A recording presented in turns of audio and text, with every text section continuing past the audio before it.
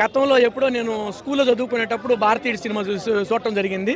ఆ భారతీయుడు అందరూ సినిమా చూసేటప్పుడు మా వాళ్ళందరూ చాలా బాగుంది భారతీయుడు చూడు అని అన్నారు స్కూల్లో చదువుకునేటప్పుడు. సో ఈరోజు నేను ఆ స్కూలేజీలో చదువుకునేటప్పుడు భారతీయుడు సినిమా భారతీయుడు అంటే ఎలా ఉంటాడో అప్పుడు చూసినప్పుడు ఇప్పుడు భారతీయుడు టూ సినిమా చూసినప్పుడు చాలా గర్వపడుతున్నాను. ఎందుకంటే నిత్య జీవితంలో భారతీయుడు అనేవాడు ప్రజల్లో చాలా జాగ్రత్తగా ఉండాలి.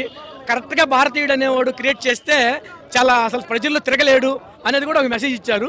సో ఇంకా రాబోయే ఐదు వందల సంవత్సరాల తర్వాత కూడా భారతదేశం మొత్తం కూడా డైరెక్టర్లు అందరూ కూడా ఒక ఒక డైరెక్టర్లను దడబుట్టించినటువంటి ఘనత శంకర్ గారికి. ఎందుకంటే జెంటిల్ మ్యాన్ కానీ ఒకే ఒక్కడు కానీ ఆయనకి తీసిన పాపరచిత్రుడు కానీ ఆ మార్కులని ఊరు చేయలేనటువంటి ఘనత శంకర్ గారిది. మొత్తం కూడా ఇండియా మొత్తంలో కూడా ఆయన వైపు తిప్పుకున్నారు. సో అదే మార్కులు అయితే క్రియేట్ చేశారు. ఫస్ట్ హాఫ్ కొంచెం మాత్రం కొంచెం అక్కడక్కడ కొంచెం అనిపించినా కూడా సెకండ్ హాఫ్ను మాత్రం చాలా బాగా చేశారు. శంకర్ గారు మాత్రం అసలు టోటల్గా కమల్ హాసన్ గారిని ఏ రీతిలో చూపించాలో ఇండియాలో మాత్రం శం- కమల్ హాసన్ గారు అన్ని క్యారెక్టర్లు చేయగల హీరో ఎవరు చేయలేరు. అటువంటి కమల్ హాసన్ గారి చేత ఆ మార్కు మాత్రం సూపర్గా ఉంది movie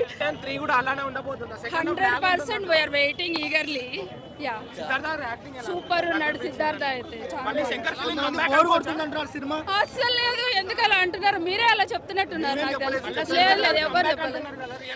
Yeah really comeback Robo two లో కొంచెం డిసప్పాయింట్ అయ్యాము కానీ బట్ ఇదైతే అమేజింగ్ మళ్ళీ శంకర్ని చూసాం అప్పుడు. క్యారెక్టర్ వన్ వచ్చినప్పుడే నేను అనుకున్నాను టూ వస్తుంది కన్ఫామ్ కానీ కానీ రావడం చాలా లేట్గా వచ్చింది.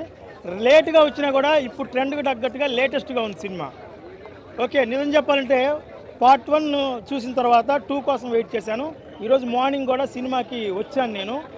రాకముందు నేను ఏదైతే ఎక్స్పెక్ట్ చేసి వెళ్ళి వెళ్ళానో లోపలికి అంతకంటే టెన్ టైమ్స్ సినిమా ఉంది. నేను కూడా సినిమా ఫీల్డ్కి సంబంధించిన వ్యక్తినే. నేను ఎక్స్పెక్ట్ చేసిన దానికి టెన్ టైమ్స్ ఉంది సినిమా. ఎందుకంటే శంకర్ గారి స్క్రీన్ పేరు మనం చాలామందిని చాలా మందిని జడ్జ్ చేయలేం. చేసేవాళ్ళు ఉండొచ్చేమో కానీ నేనైతే జడ్జ్ చేయలేదు. కానీ నేను ఊహించిన దానికంటే మాత్రం బాగుంది.